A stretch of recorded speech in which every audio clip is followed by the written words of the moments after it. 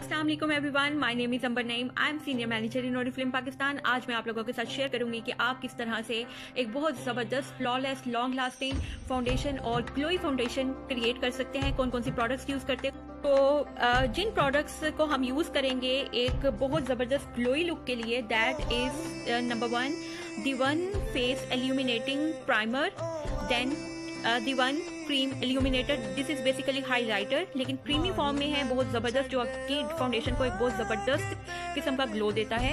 And number third is foundation that is ever lasting foundation okay बात करते हैं first step की that is priming priming हमारी foundation के लिए बहुत ज़रूरी है। अगर आप प्राइमर यूज़ नहीं करते, आपकी फाउंडेशन लॉन्ग लास्टिंग नहीं होती, आपकी फाउंडेशन क्रैक्स पड़ सकते हैं, आपकी फाउंडेशन पैची लुक दे सकती है, आपकी फाउंडेशन में कोई ग्लो नहीं होगा।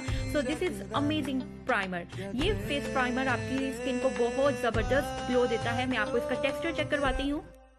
यू कैन सी कि ये बहुत सुपर क्रीमी है इसकी बहुत ही कम क्वांटिटी यूज़ होती है जस्ट एक ड्रॉप आप एक ड्रॉप यूज़ करते हो तो उससे आपका वो फेस पे बहुत ज़बरदस्त ग्लो आ जाता है और ये बहुत अच्छे से प्राइम करता है आपके फेस को मॉइस्चराइज भी करता है। ड्राई स्किन के लिए ये बहुत ज़बरदस्त प्राइमर है। आ, हम इसको ब्लेंड करके देखते हैं।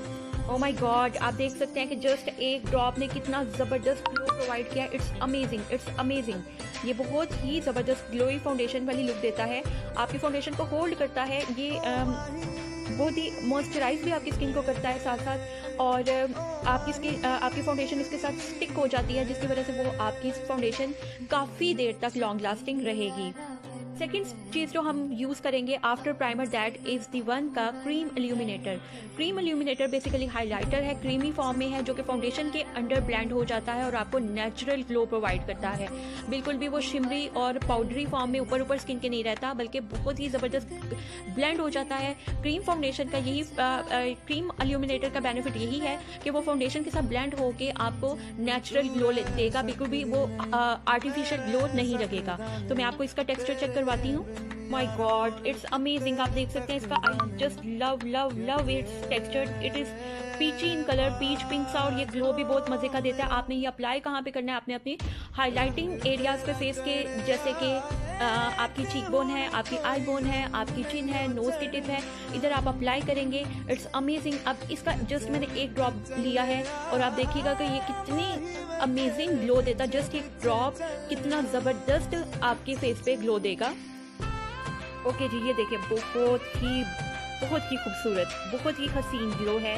आप मेरे हाथ पे चेक कर सकते हैं कि जहाँ पे मैंने हाइलाइटर लगाया इट्स अमेजिंग ये बहुत ज़बरदस्त आपकी स्किन को थोड़ा आपके चीक्स को थोड़ा पिंकी पिंकी भी शेड देगा, साथ में हाईलाइटिंग भी ग्लो भी इट्स अमेजिंग इसके बाद आप जब फाउंडेशन अप्लाई करेंगे फाउंडेशन आपको बहुत ज़बरदस्त ग्लो देगी. That is the one ever lasting synchronise foundation इसके बहुत सारे बेनिफिट्स हैं.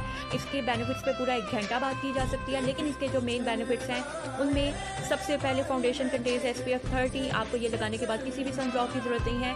आप आपको ये फाउंडेशन में ही सनब्लॉक मिल जाता है और ये बहुत ही मॉइस्चराइजिंग फाउंडेशन है।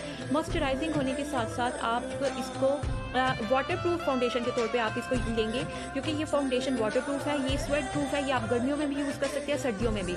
मॉइस्चराइजिंग प्रॉपर्टी की वजह से सर्दियों के लिए ये बहुत बेस्ट है ड्राई स्किन वाले भी इसको यूज़ कर सकते हैं इट्स अमेजिंग और लॉन्ग लास्टिंग ये थर्टी आवर्स तक थर्टी आवर्स तक मतलब तीस घंटे तक आपकी फाउंडेशन को और आपके मेकअप को खराब नहीं होने देती and it's amazing property okay okay, तो जब आप इसके इसको अप्लाई करेंगे अपने हाइलाइटिंग और प्राइमिंग के बाद तो आपकी फाउंडेशन बहुत ग्लोई होगी। मैं आपको इसका एक ड्रॉप इसका भी लगा के आपको चेक करवा देती हूँ कि कितना ये भी मॉइस्चराइजिंग फाउंडेशन है और कितनी इसका ज़बरदस्त टेक्स